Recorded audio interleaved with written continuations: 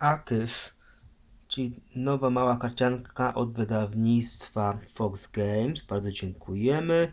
Tu mamy autora, ilustracje.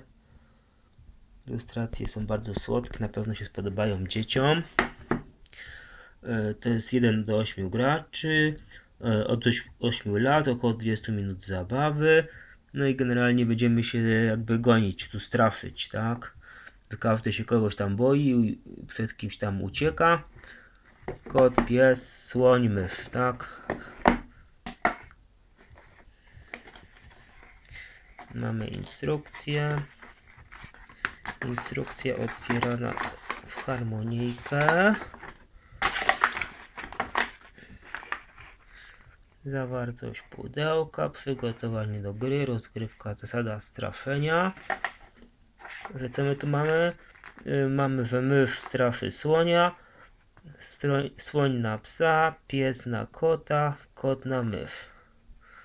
Y, No a pies nie straszy myszy, tak?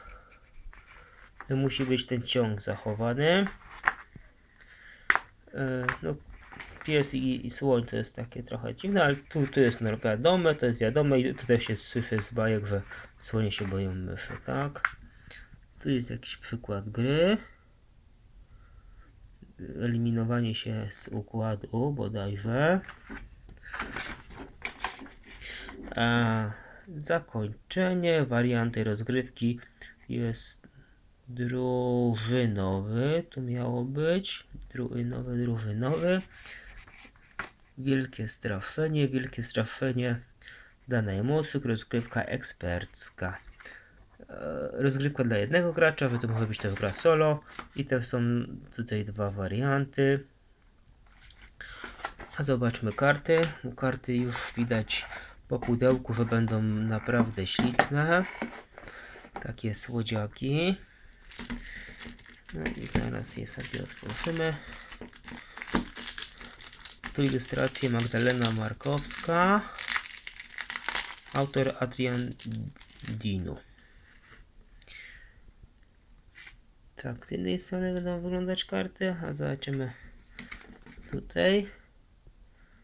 Tak, mamy kotki. One się różnią barwami. Mamy psiaki. Takie trochę bernardyny. Też się barwami różnią. Mamy słonika takiego z podniesioną nogą, tak, bo myszka jest mała, gdzieś tam drepta pod tymi nogami i słoń się boi, wielkie oczy robi.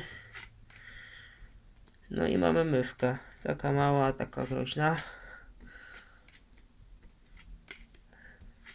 No, postaci są, są słodziutkie. I tu mamy taką grupę. Nie wiem do czego jeszcze te karty służą. Czy to są jokery zastępujące wszystko. No i tu mamy takie czarno-białe. Może też do jakiegoś wariantu. Tak to wygląda. Tyle mniej więcej kart. Na pewno gra jest słodka. To można powiedzieć na wstępie. Akysz od wydawnictwa Fox, Game, Fox Games. E, bardzo dziękujemy. Z wyglądu super. Dzięki.